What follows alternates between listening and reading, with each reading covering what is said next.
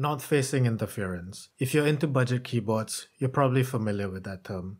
Does this mean you absolutely can't use cherry profile keycaps if your switches are north-facing? Well, not entirely.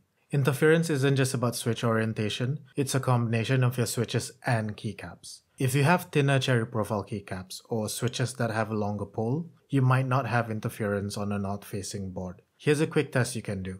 This mostly affects the R2 or R3 row, so use a keycap from there. Place a piece of paper between the switch and cherry profile keycap. If it doesn't get stuck when you press the switch, there's no interference.